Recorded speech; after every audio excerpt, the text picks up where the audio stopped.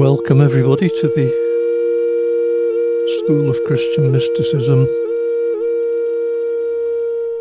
Meditation Support Group. We've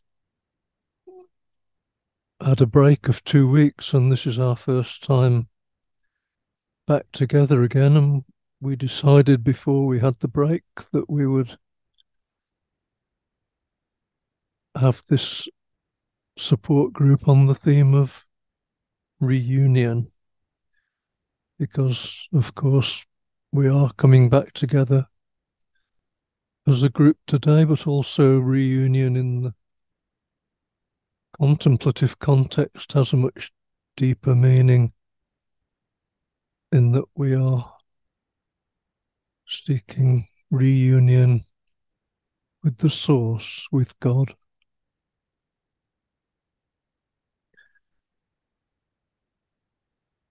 And no doubt during this two weeks, everybody's been doing other things in the morning.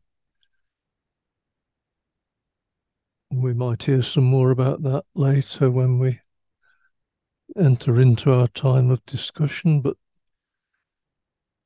what I've been doing is is reading Meister Eckhart's sermons we've been making a lot of use of of poems based on Eckhart's writings, and I thought it would be good to read his original writings, albeit in translation, of course, because it's always or usually better to read the original words of the master rather than interpretations by others, however insightful they may be.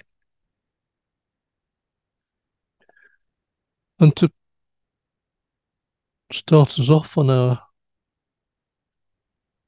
discussions today, I, have selected just a couple of paragraphs from one of those sermons, which for me it at least relates to our theme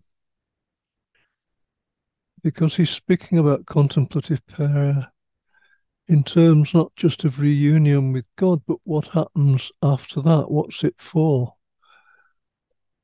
Talking about prayer as a process, really, of moving in and moving out, of cycling, moving into reunion with God, moving out into the world that we necessarily live in, and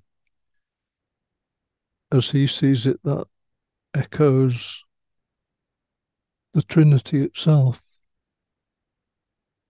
I won't go into that, but I'll go straight into the paragraphs that seem to be relevant. First of all, he says, now, our good people imagine that they can reach a point where sensible things do not affect the senses.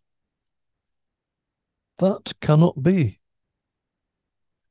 That a disagreeable noise should be as pleasant to my ear as the sweet tones of a lyre is something I shall never attain to. But this much can be attained that when it is observed with insight, a rational, God conformed will submits to the insight and bids the will stand back from it, and the will answers, I will gladly. Lo and behold, then strife changes to joy. For what a man has gained by heavy toil brings him heart's delight, and then it bears fruit. And we hear a lot these days about mindfulness, of standing back and looking at what's happening dispassionately and without judging. And it seems to me that's what Eckhart is talking about here. And mindfulness, of course, is used in a secular setting to help people cope with the suffering and fear that they experience in daily life. But Eckhart's talking about much more here, not just about coping, but about complete transformation. He's saying, I think, that when we when our will is conformed to God, which is what we seek in contemplative prayer, when our will is conformed to God, there is a transformation so that suffering and fear turn into joy and hope.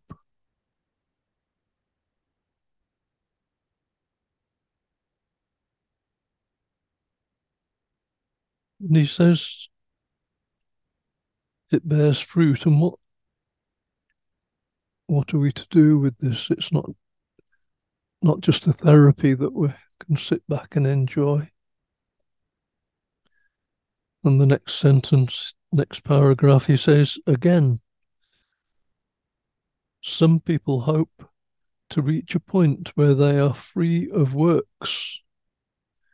I say this cannot be. After the disciples had received the Holy Ghost, they began to do good works. And so, when Mary sat at the feet of our Lord, she was learning, or she had just gone to school to learn how to live. But later on, when Christ had gone to heaven and she received the Holy Ghost, she began to serve she travelled overseas and preached and taught and served the other disciples. Only when the saints become saints do they do good works, for then they gather the treasure of eternal life. Of course, here Eckhart's talking about the story of Mary and Martha, where Mary sat at the feet of Jesus and Martha was busying herself doing things for people. Normally taken as an example of how good contemplative prayer is in itself, but Eckhart turns this completely on its head and is suggesting really that it's Martha who is the enlightened one. And he of course, is working on the assumption that the Mary who sat at the feet of Jesus is the same Mary. Mary Magdalene, who used, later travelled and preached and taught. That was widely believed throughout most of Christianity that the Marys were the same. But looking beyond that, the point he's making, of course, is that contemplative prayer is like going to school. And when we start it, it's like going to kindergarten. We're learning. As he says, we're going to school to learn how to live. The whole point of it is to learn how to live in day to day life, not contemplative prayer just for the sake of it or because it makes us cope with life a bit better, but it's there to enable us to live our life in the light of the Holy Spirit with our will conformed to God.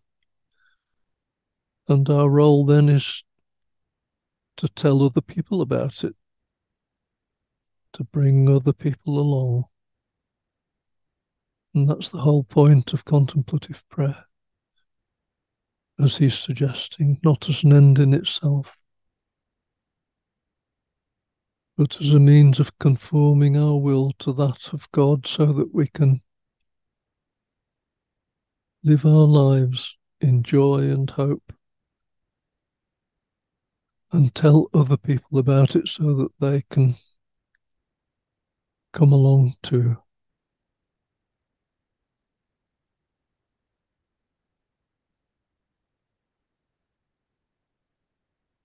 So that's that's the offering. Thanks to Meister Eckhart and his insights on the theme of reunion, reunion with God, necessarily followed by reunion with our life in the world.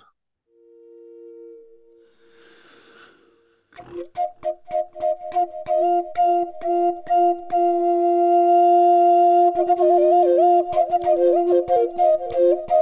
you.